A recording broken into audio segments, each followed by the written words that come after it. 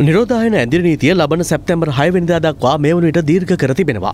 ඒ අනුව ගොවීන්ගේ අසනු වලවි කර ගැනීමට සහ ජනතාවට අත්‍යවශ්‍ය ආහාරද්‍රව්‍ය අඩුවකින් තොරව ලබා ගැනීම සඳහා අවස්ථාව ලබා දීම වෙනුවෙන් දිවෙනු පුරා පිහිටි සියලු ආර්ථික මධ්‍යස්ථාන අද සහ හෙට මෙලෙස විවෘත කෙරුණා.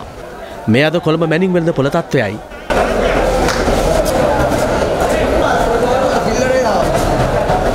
දිවයිනේ සෑම ප්‍රදේශයකින්ම විශාල එළවලු තොග ලැබිලා තිබෙනවා.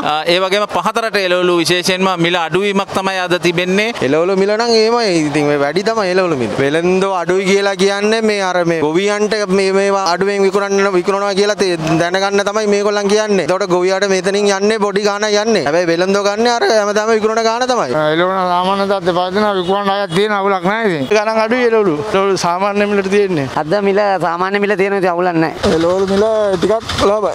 වැඩිවත් නැහැ. සාමාන්‍ය වෙනදට වැඩිය පොඩ්ඩක් අඩුයි. ඒ වගේම පාරිභෝගිකනුත් අද අඩු වශයෙන් තමයි පැමිණ තිබෙන්නේ. මේ වෙළඳ පොළ තොග වෙළඳාමට පමණයි විවෘතව තිබෙන්නේ. අම්මා තාත්තා දරුවන් සමග මේ වෙළඳ පොළට පැමිණෙන අවස්ථා අපි දැක තිබෙනවා. අපි ඉල් කාරුණිකව ඉල්ලා සිටිනවා. එසේ පැමිණෙන්නට එපා කියන පණිවිඩයක් ලබා දෙනවා. දමුළු විශේෂ ආර්ථික මධ්‍යස්ථානයේද අද තොග වෙළඳාම් වෙනුවෙන් විවෘත වුණා.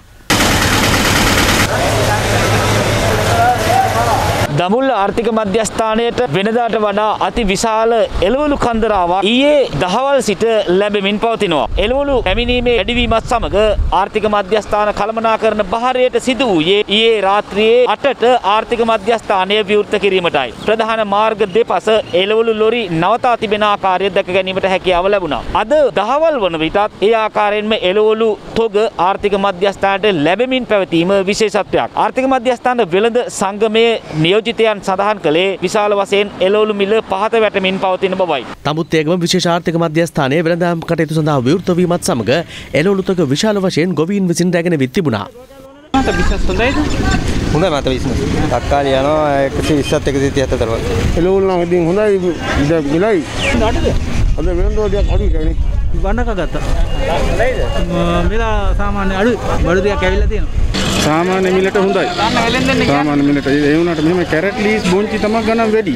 වෙනදා විදිහටම එළවලු වැඩි ප්‍රමාණයක ආර්ථික මධ්‍යස්ථානයක් ආවා. පෙර දිනට සාපේක්ෂව අද වැඩි අගයක් තමයි අරගෙන තියෙන්නේ. කටුගස්තොට මැණික් කුමර වෙළඳ සංකීර්ණයත් අද ගොවීන් විසින් එළවලු රැගෙනීමත් සමග කාර්යබහුල වුණා. එළවලු ඇවිල්ලා තියෙනවා. එක ගණන් ආවට එළවලු ගණ්ඩ ව්‍යාපාරිකයෝ ඇවිල්ලා නැහැ. ඒකට හේතුව ගොඩක් මං හිතන්නේ ඊයේ මැසේජ් එකවත් දැනුවත් කිව්වේ නැහැ රජයෙන් හැම දවසෙම කියන සතර දවස් දෙකක්කට සැරයක් ආර්ථික මධ්‍යස්ථානෙ විවෘත කරනවා කියලා ඊයේ දැනුවත් වුණේ නැහැ. මේ ඩිලිවරි යන්න කොමිට හදාගත්තු කට්ටිය විතරයි ඒගොල්ලෝ බොහොම පොඩ පොඩ ගෙනියන්නේ.